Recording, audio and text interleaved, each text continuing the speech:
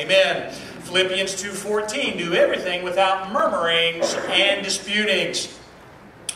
George had it all. Not George Benson, but George had it all. He was a successful businessman. Matter of fact, he was independently wealthy, drove the finest automobiles, had a luxurious lifestyle, and yet he felt empty inside. Sounds familiar.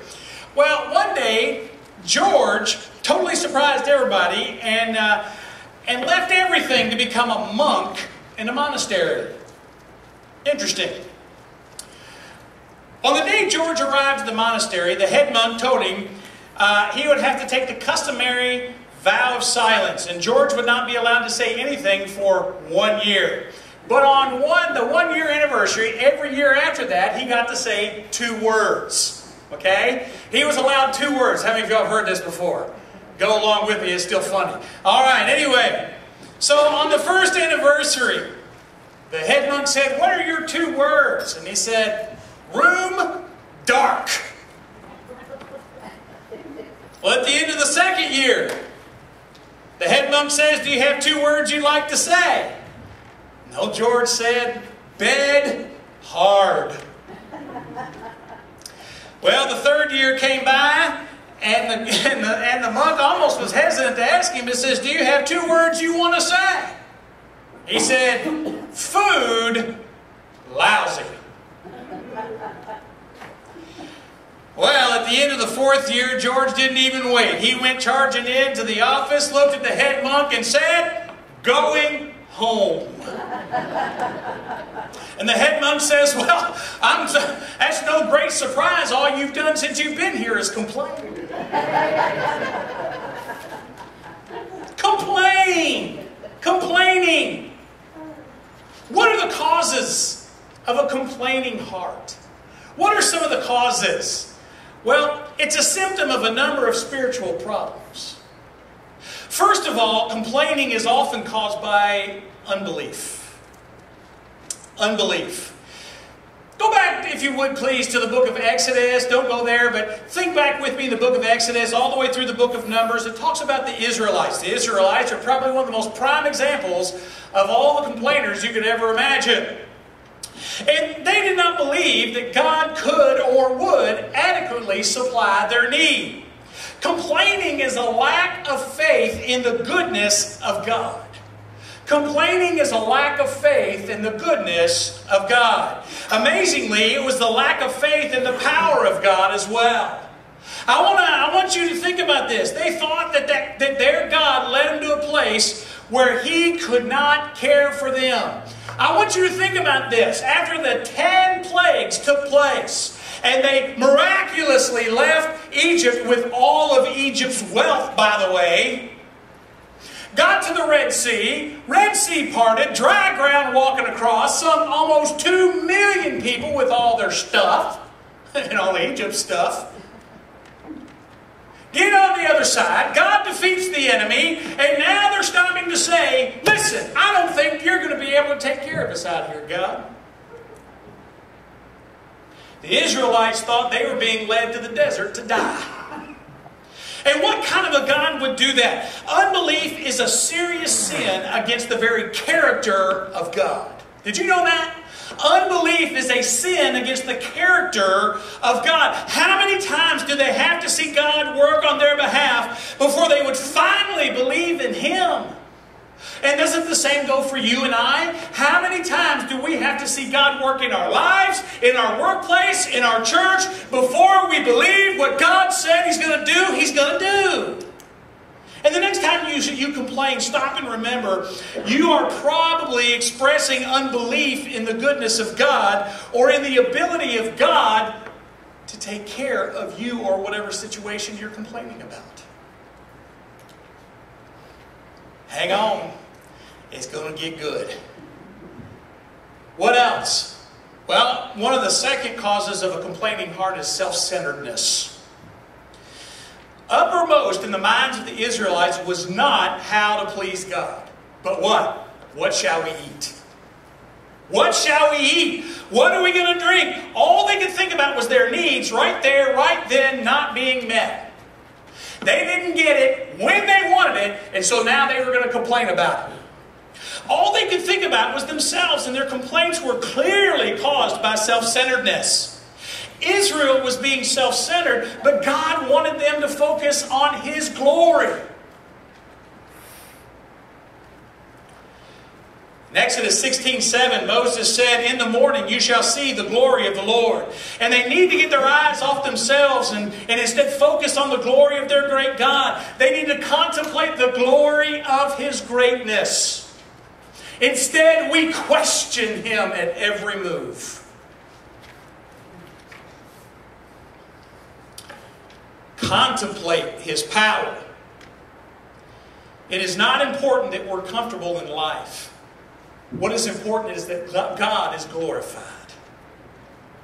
All around us, ever present temptation to cause ourselves to be the center of the universe. Everywhere you look, people are saying, It's all about me, it's all about me, it's all about me. It is not about you, it is about Him. It is not about me, it is about Him. It is not about the president or the pope or anybody else. It is about God and God alone and His glory. What we see on TV in particular trains us to think that our perceived needs are to be met as quickly as possible. We're told that we have the right to these things. We feel that if we can obtain more of the material things in life, we're finally going to be happy. I want to ask you, how many of you have obtained all the things in life that you want? When your kids ask you even what you want for your birthday, you can't think of anything because you have everything. And yet we still complain. We complain when we fall short of our expectations. But in contrast, over in Matthew 6, 31 through 33, Jesus says, Don't worry about what you're going to eat or what you're going to drink or what you're going to wear. For all these things the Gentiles seek, for your heavenly Father knows that you need all those things. But he says this Seek first the kingdom of God and his righteousness, and all these things shall be added unto you. The next time you complain, think about the fact you're probably being like a self centered child. Brother Don, I don't like this preaching. How do you think I felt when I tried to put the message together? God had to deal with my heart before he dealt with anybody else's. What's another reasoning for complaining? Pride. When we complain against the Lord and ask Him why bad things happen to us, we're assuming a superior posture and giving the impression that we're in charge and God is actually accountable to us. Think about that for a minute. We question God at every turn. And we think that He is beholden to us. How prideful is it when we complain and question God's dealings with us? If you continue to look further down the book of Exodus, chapter 17, uh, in the last part of verse 7, it says, They tempted the Lord, saying, Is the Lord among us or not? They put the Lord on the spot, and they were demanding He give them water right here, right now.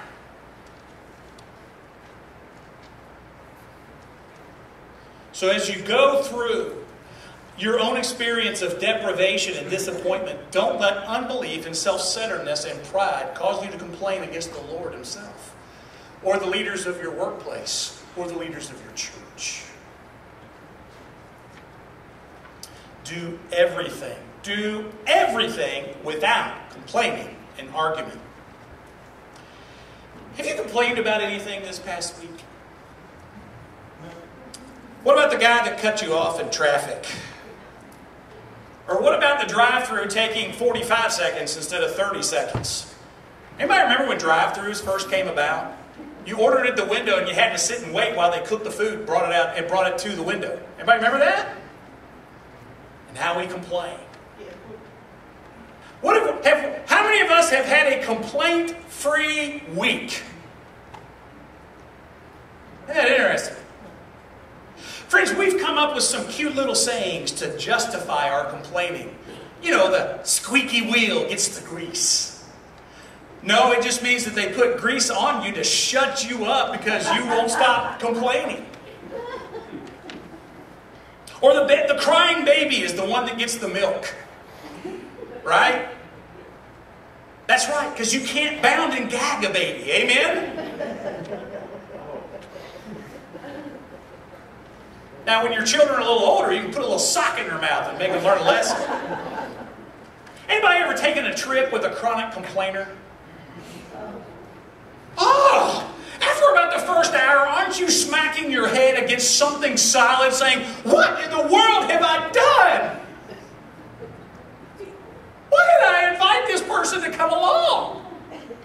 Why did I ever expect them to be any different?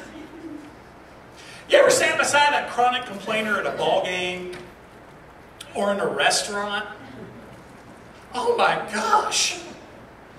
I want to, can I tell you something? People make mistakes, okay? And yes, people make constant mistakes sometimes, but is that really a reason to get self righteous and go off in the middle of a restaurant and show yourself? Or at a ball game? You ever watch people at a ball game? oh my gosh. Yeah, I've complained against the officials, but only when I'm right and they're wrong, right? But the thing about it is, you see them in a ball game. There's people that'll come down out of the stands and beat up a rump, a rump, ump. I was trying to say umpire and referee at the same time. They'll beat up a rump too. And when I find one, I'll show you them doing that. Hey, serious message. All right, here we go. How about this? Have you ever gone to church with a chronic complainer? There are preachers that I have known that have left churches, and some have even left the ministry because they grow weary of dealing with chronic complaining. It's a pastor I was told about, and the reason I remember his name is the same as my son. His name's Ben. It's Pastor Ben, and uh, he was preaching out at a church, and this one guy, they called his name was Charlie. So if your name's Charlie, I'm sorry, I, I didn't mean you, unless the shoe fits. But anyway, his name was Complaining Charlie. And every time he would have everything nitpicky to say. You did this wrong, you did that wrong, that's not right, that's not right, that's not right, that's not right. Well, the pastor thought, you know what, I preached a great sermon today, and for pastor to say that, that's a pretty big deal, right? Well, here comes old complaining Charlie after a whole line of folks, you know, that kind of say, and I guess he thought he was the one to keep the preacher humble, right? Like God can't do that. So anyway, complaining Charlie comes up and started nitpicking about the service again. About that time, Pastor Ben handed him a piece of paper. Complaining Charlie looked and he said, What is this? He said, That's a list of churches I think you'll be more happy at. True story. The man left, never came back, and the church grew from that point on. Friends, we may pass off complaining as a harmless, annoying habit, but God takes complaining much more seriously. In the eyes of God, complaining is a sin. In the Old Testament, the classic example, as I've mentioned before, if you'll turn to Numbers chapter 11, just hold your place there for just a few minutes. Numbers chapter 11, I want to give you a little background. They were 400 years in captivity. They, the longer they stayed in Egypt, the more difficult life began to, be for them. They began crying for God to send them a deliverer, and God heard their voice and sent Moses, and he, and he led God's people out of Egypt, and he promised them the promised land. You would think if people were promised a promised land from God, it would click that He was going to supply their needs from here to here and everywhere in between. It's not like they're going to throw your dead body over the promised land and say, Look, I kept my promise. Their celebration quickly turned to complaining. And in Numbers 11, there's four valuable truths that we want to learn today. And I want to show you those four truths. Number one, complaining is a condemned sin. Complaining is a condemned sin. Look at verses 1 through 3. Here we go. And when the people complained, it displeased the Lord. And the Lord heard it, and his anger was kindled, and the fire of the Lord burned among them, and consumed them that were in the uttermost parts of the camp. And the people cried unto Moses, and when Moses prayed unto the Lord, the fire was quenched. And he called the name of the place Taberah because the fire of the Lord burnt among them. God hates complaining. Hey, let's all say that, shall we? God hates complaining. Uh, a little bit better. Come on, let's do better. God hates complaining. Do you believe that? You should. He does not enjoy listening to somebody whine and complain any more than you or I. In verse 1, when God heard the people complaining, his anger was aroused. And I want you to see a valuable truth that is in that verse. God always hears your complaints. There is not a one that he does not hear.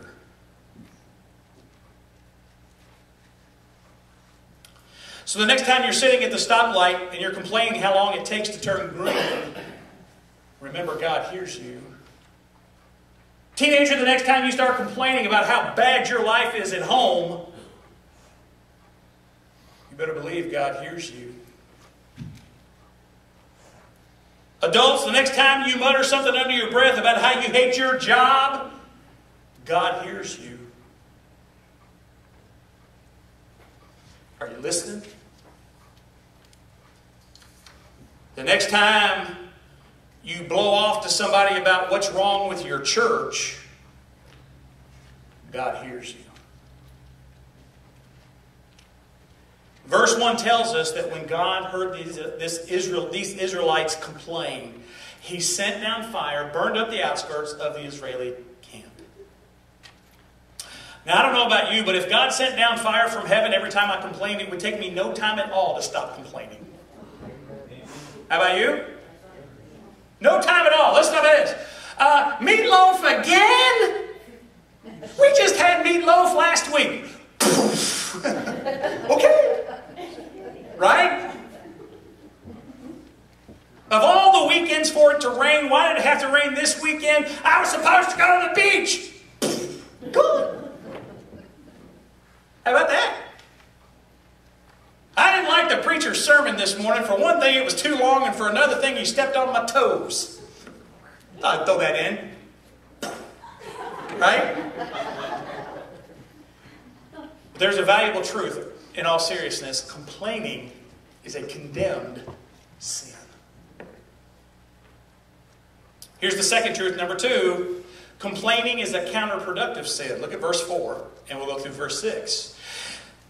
And the mixed multitude that was among them fell a lusting, and the children of Israel also wept again. In other words, complained, whining, okay? Uh, and said, Who shall give us flesh to eat? We remember the fish which we did eat in Egypt freely, and the cucumbers, and the melons, and the leeks, and the onions, and the garlic. I'm so hungry. But now our soul is dried away. There's nothing at all besides this manna before our eyes. Let's get the picture here. The Israelites are out in the middle of the Sinai desert, a land that is so barren, so dry, and so scarce. Nothing could live out there, but God is providing the way for all these people to live and to, and to flourish. God has graciously supplied their physical needs, and He gave them this daily supply of a sweet honey wafer like substance called manna. Now, from everything I've studied about manna, scientists and nutritionists would deem it a miracle food if it were available to you and me today. You see what I mean? Because in that little simple food of manna, it provided all the vitamins and nutrients that the body needed to not only be, not only to be sustained, but to be healthy and strong as well. Interesting. But rather than play, praising God for the food He provided, they complain about the foods they didn't have. Kind of like many of us do when we stand in front of an open kitchen cabinet or an open refrigerator and complain about not having anything to eat when everything is packed to the, to the gills. You know when we say that, it just means we don't want to fix it, right? There's nothing easy to eat, no junk food. So rather than being grateful for the manna, they started craving the foods they'd eaten while they were in Egyptian captivity. The fish, the garlic, and the leeks. Oh, was so great. But I want to tell you, these are probably the same people who the day they left Egypt probably said, Whew, I hope I don't ever have to eat another Egyptian cucumber or another Egyptian onion again as long as I live. Right? Isn't that how we do? You see how counterproductive complaining is? Let me give you some things. You ready? On how counterproductive it is. First, it steals your joy. It not only steals your joy, but it steals the joy of the one you're complaining to and about. Steals it. Gone. Here's another thing, number two. What is it? How, why is it counterproductive? Here's what it does. You ready? You ready? It, it, it weighs you down with ingratitude.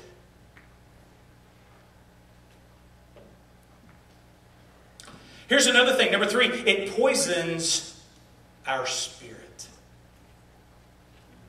Poisons our spirit. And number next, it complaining it alienates others from us because nobody wants to be around somebody who complains all the time. If you're a chronic complainer, I want you to think about something for a minute. What has all your complaining ever accomplished? You may have gotten away with a few things, or gotten your way on a few things from time to time just to shut you up, being honest. But if you're totally honest with yourself, you'd have to admit you're complaining has brought you what?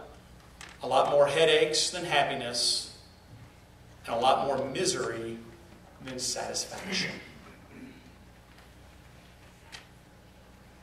Well, truth number one, complaining is a condemned sin. Number two, sorry, two, uh, complaining is a counterproductive sin. Number three, complaining is a contagious sin.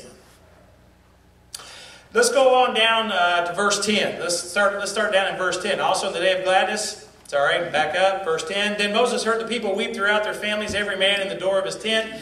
And the anger of the Lord was kindled greatly. Moses also was displeased. And Moses said unto the Lord, Wherefore hast thou afflicted thy servant? And where, wherefore have I not found favor in thy sight that thou hast laid the burden of all this people upon me? Have I conceived all this people? Have I begotten them, that thou shouldst say unto me, Carried them in thy bosom as a nursing father bearing the sucking, uh, beareth the sucking child unto the land which thou sworest unto their fathers? Whence should I have flesh to give unto all this people? For they weep unto me, saying, Give us flesh, that we may eat. I am not able to bear all this people alone because it is too heavy for me. And if thou deal thus with me, kill me, I pray thee, out of hand, if I found favor in thy sight, and let me not see my wretchedness. Complaining is contagious. What started out as the complaints of a few people quickly spread like wildfire throughout the whole camp. And now the complaining bug has even hit Moses. But Moses is so distraught by it, he says, God, just kill me. Can't deal with it anymore. That's pretty bad, isn't it? Friends, we shouldn't just complain. We need to take positive action to resolve the problem. Help resolve the issue. The problem with complainers is all they ever do is tell you what's wrong. They never tell you what they're going to do to help you make it right. They always tell you what's wrong, but never to help you do what's right.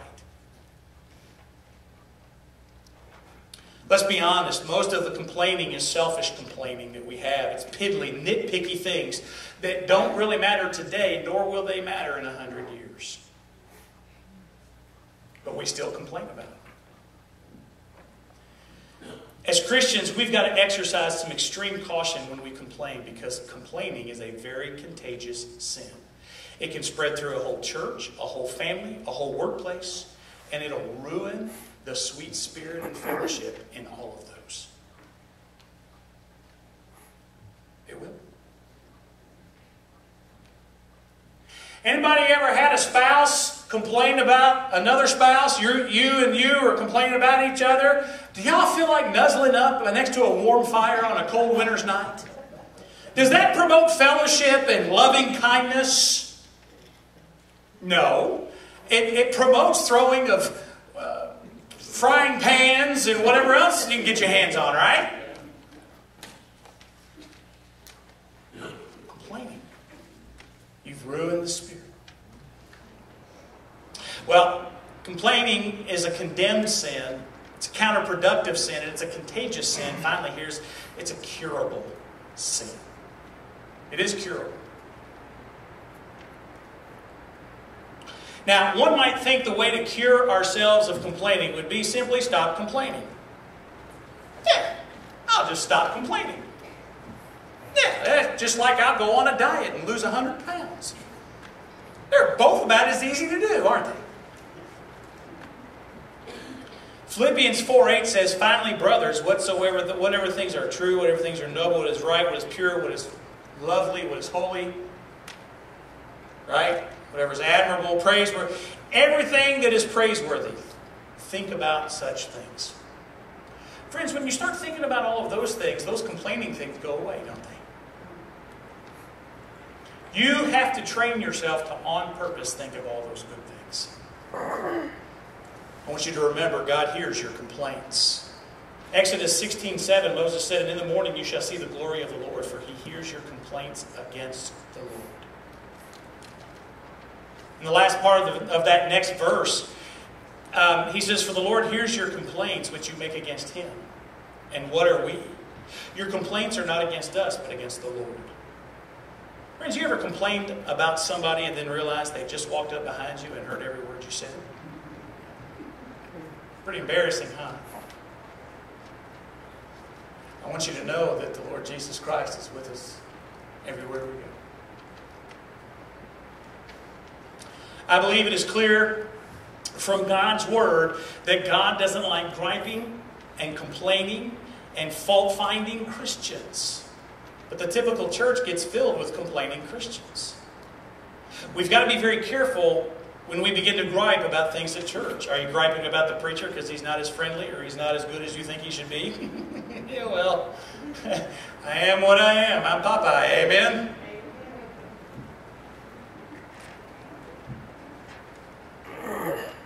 Well, then you need to come share your complaints with me. You say, well, I would never do that.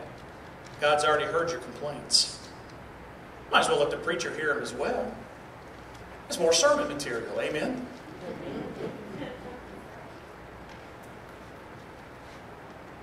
I want you to remember God hears your complaints. Repent of improper complaining. Do you know there's a right way to express what you see as a problem? And there's a right way to correct problems and seek solutions. But the problem is, too many people whine and complain. They whine and complain because it's not like they want it. Right? Now, I'm going to tell on mamas here for just a minute, okay? Now, mamas don't get mad at me, but I just happen to know this. When you ask a child to clean a room or clean something, okay, there's a reasonable expectation from said mother on how, how clean the room should be. When you go in to see that room, that room is not, well, mama clean. How many of you have ever been tempted or succumbed to the temptation of saying, This is not clean? You need to do more. You say, Brother Don, why do you bring that up? Well, the reason I bring that up is first, did you express the expectations of what Mama Clean really is?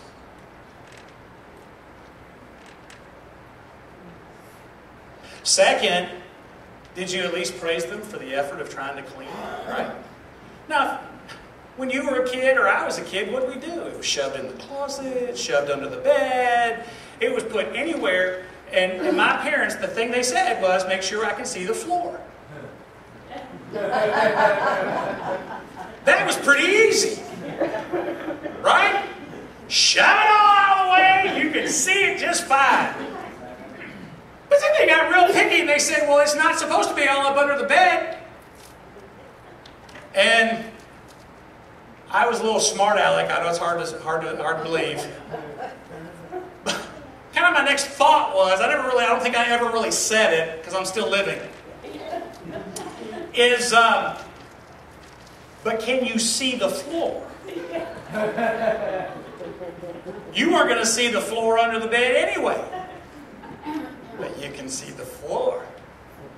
Or walk a path. I want to walk a path through your room. All right, by parting of the Red Sea. Right? That we were as kids? Be careful Be careful of complaining. Okay? Rejoice in the small victories that your child actually did what you asked them to do. Amen? Repent of improper complaining.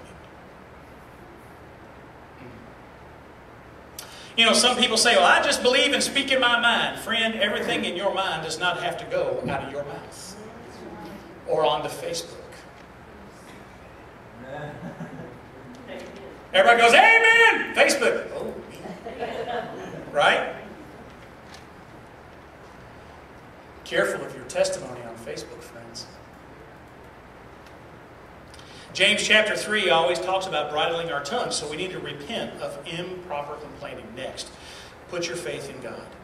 If unbelief is one of the causes of a complaining heart, faith in God is the cure. I want to ask you a question.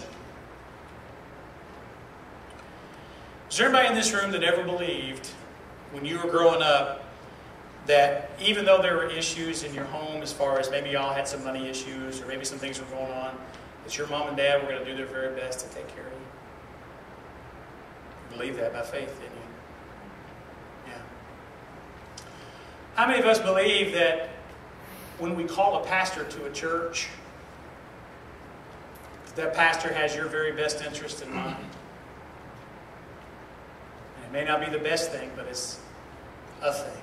How many of y'all, how many of y'all believe that when a pastor is called to a church and the pastor says, I'll take care of the church, you believe he'll do his best to take care of the church?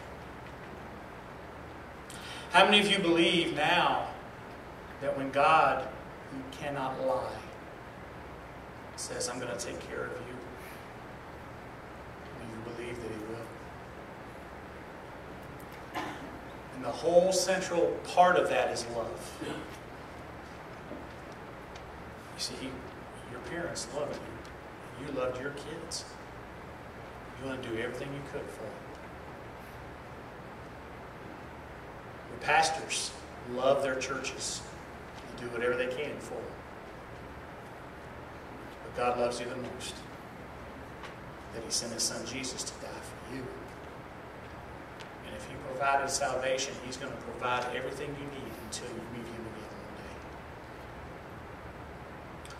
And that leads me to this last point practice contentment. Clearly, contentment is the opposite of complaining.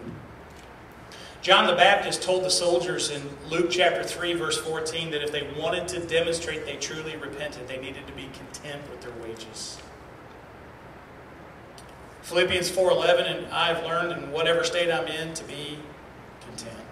1 Timothy 6, 6, now godliness with contentment is great gain. Verse 8 keeps following. He says, And having food and clothing, with these we shall be content. Finally, Hebrews 13 5. I want you to see, we, we recognize that, that He'll never leave us nor forsake us, but read the rest of the verse. It says, Let your conduct be without covetousness. Be content with such things as you have. For He Himself hath said, I will never leave you nor forsake you. A content Christian is not a complaining Christian. Finally, practice thankfulness. I forgot I had one more point. We need to practice thankfulness. And whatsoever things we do, do, do all to the glory of God. Weeping may endure for a night, but joy comes in the morning. Practice thankfulness. And as far as negative talking is concerned, Paul tells us what to do in Philippians 4 4. Rejoice in the Lord always. Again, I say, rejoice. Replace your chronic complaining with continuous praise. See what happens. Matthew Henry was a famous Bible teacher. Anybody ever heard of Matthew Henry's commentary? Matthew Henry, um, and uh, he was accosted and, and by thieves and he was robbed. And he wrote these words in his diary. This is his, his actual diary words. I am so very thankful. Okay? First, because I was never robbed before. Second, because although they took my purse, they did not take my life. Third, because although they took everything I had, it wasn't very much. Fourth, it was I who was robbed, not I who did the robbing. Instead of complaining about his trials, he was thankful. Do everything without complaining or arguing. Let me help you. When you come home from work, leave your complaints at the door. You're not, you're not at work anymore. You, you, don't, you don't have to complain about work at home. You say, Brother Don, how am I going to get it all off my chest? Well, if it's a five minute drive, make it a 15 minute drive, and you have a conversation with the Lord Jesus Christ and say, Thank you for that job that I have so much frustration at. Amen.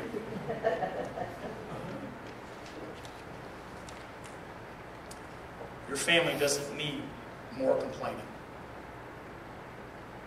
You walk in the church doors Sunday, Monday, Tuesday, Wednesday, Thursday, Friday, Saturday. Leave your complaints at the door. God already knows them anyway. No sense in ruining the spirit of somebody else.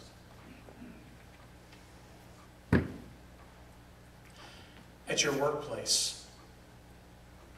before you walk in the door, leave your complaints at the door. Don't walk into your workplace already predetermined to complain about it. Because quite frankly, they could give you a piece of paper and says, here's some other places that you would probably be happier working in. Or here's the, here's the number for the unemployment office. We'll see you later. Amen. So now the real question. How has this message impacted you and me? Now, there have been some funny points, and there have been some serious points. None of it matters unless we apply what we've learned. I myself am going to do a better job of not complaining. It's kind of kind of interesting, you know. Um, sometimes you hear complaint after complaint after complaint after complaint, don't you? And when you hear so many complaints, it causes you to want to complain, like, oh, no, huh? But I myself am going to commit to try to complain less and be thankful more. Amen? What are some things I need to be thankful for? Very quickly, number one, your salvation. Be thankful that there was a God that loved you in spite of all your complaining. Number two, what should I be thankful for? If you're married today, your spouse. If you have kids, your family. Look around, friends. A family that stays together is, is a minority. Be thankful for what God's brought you. Be thankful for your job. But I don't make enough. Do you think God doesn't know that? Be thankful for your church. Be thankful God has given you a place to come and serve.